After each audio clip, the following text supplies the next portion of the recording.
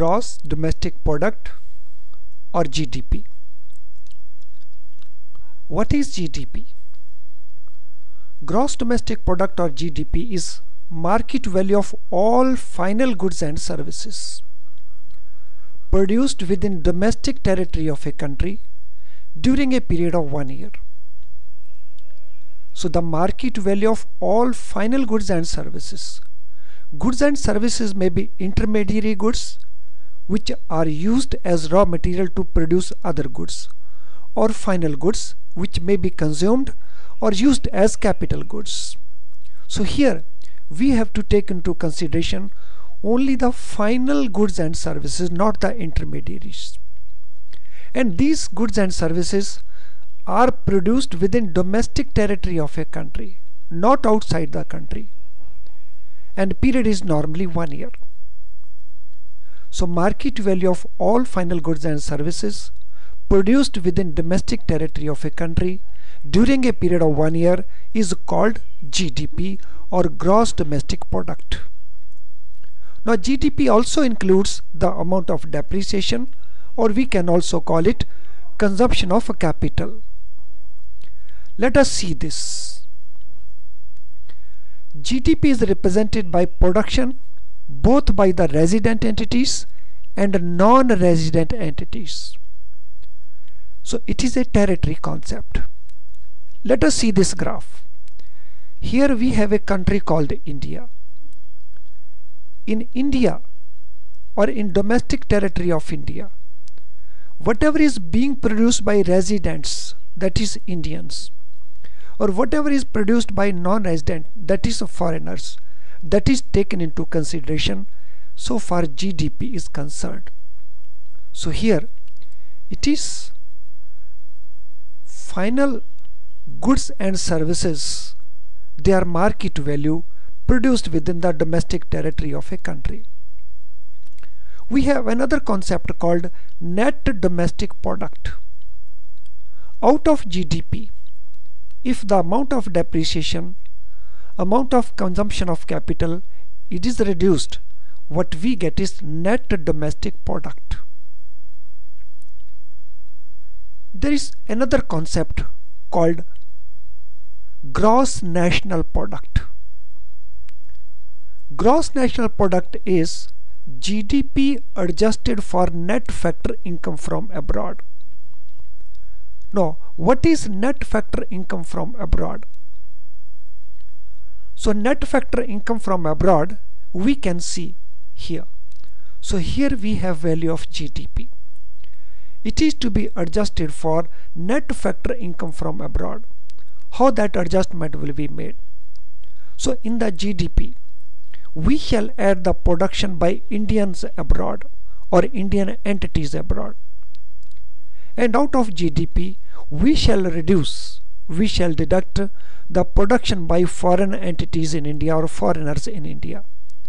So the gap of these two is called net factor income from abroad.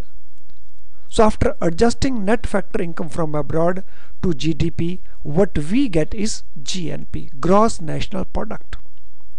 Now this also shows that GNP is a nationality concept instead of a territory concept.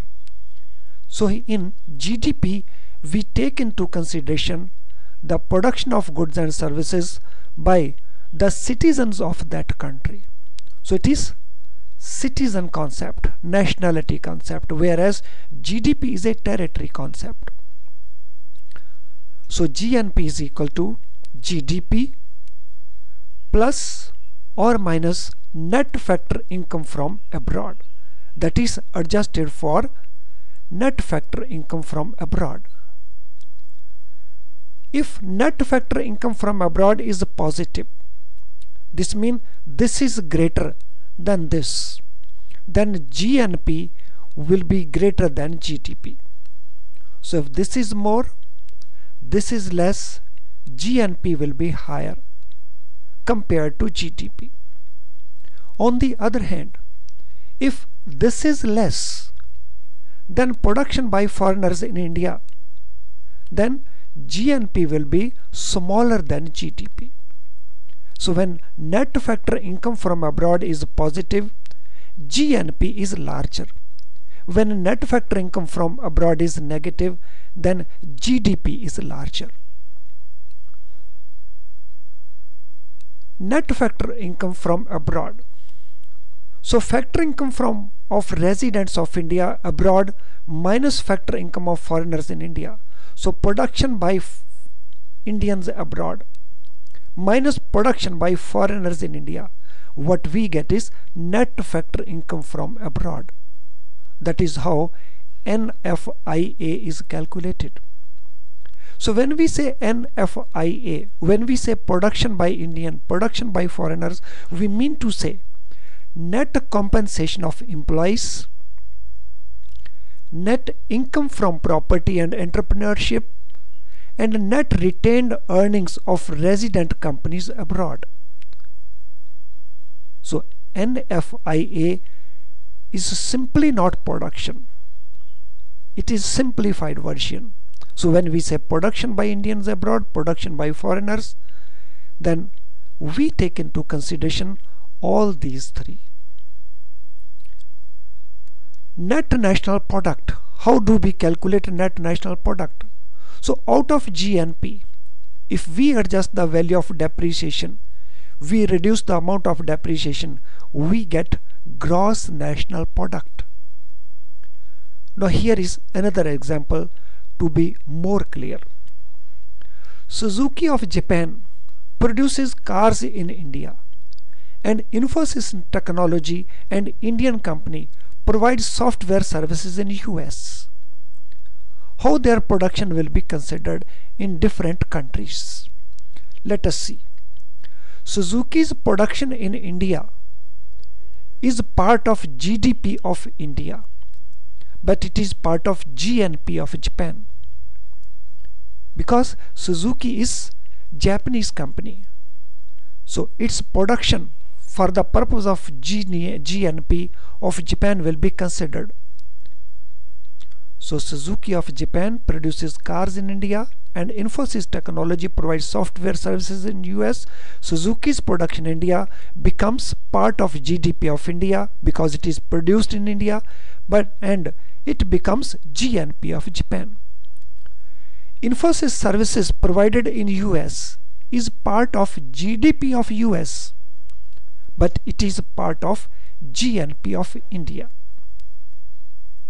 So GDP does not include net factor income from abroad. So that is how this concept of GDP can be explained. Thank you friends for watching this video. I hope you have been benefited by the contents of the video. Thank you once again.